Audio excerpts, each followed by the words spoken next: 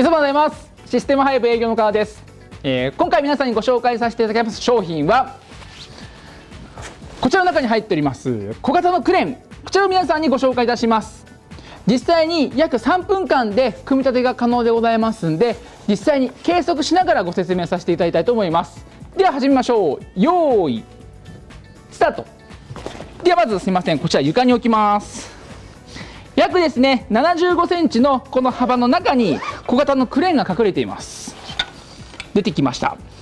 ちなみにこちらのクレーンですね香港の、えー、アイフッテージというメーカーさんのクレーンでしてミニクレーン M12 という商品の、えー、型番がついております。では実際にこちらの三脚にクレーンを組み立てていきたいと思います。まずクレーンとせ、えー、三脚と接続する際にえー、三脚のプレートネジ。これをクレーンの方につけてみたいと思います。取り付ける際にですね。ご覧ください。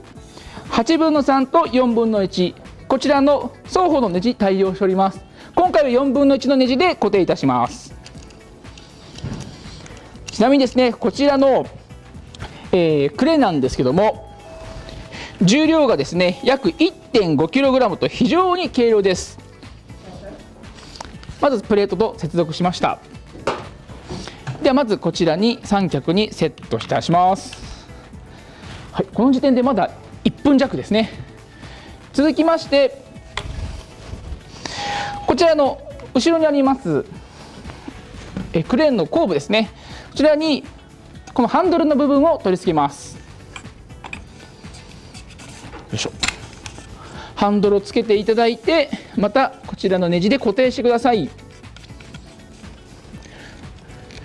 続いてこちらのクレーンのですねバランスを取ります。まずこの4つのネジを緩めていただくとカーボンフレームのこちらのアームが伸びます。支柱と先端の支柱はこれ垂直になるように設定してください。垂直に設定できましたらネジを固定します。これで基本完成です。続いてカメラを先端に取り付けます。取り付けるプレートが4分の1のネジ穴に対応していますんでこちらのカメラに取り付けます。ちなみに積載重量ですね約 2kg までのカメラ等を、えー、こちらに取り付けることが可能になっております。はい。あとはネジで回して固定してください。この部分から支柱の真ん中の部分までですね約1.2メーターございます。はい。でこの後ですねカウンターバランスを取らないといけません。ですので付属の金びらをこの後ろにつけていただきまして重りとなるような今回はカバンを用意いたしました。このいうカバンを取り付けていただければどうでしょうか？ほぼカウンターバン取りました。ここで今3分ちょうど経過いたしました。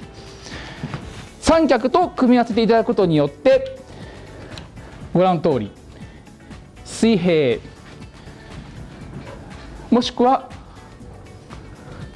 こういったチルトですね。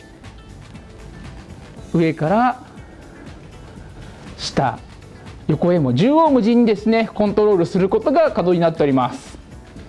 実際に東京店のこちらの、えー、半蔵門ショールームの方でも実機を展示しておりますんで、えー、ぜひ皆さんこちらの、えー、ミニクレーン M12、えー、ご購入とご検討よろしくお願いいたします。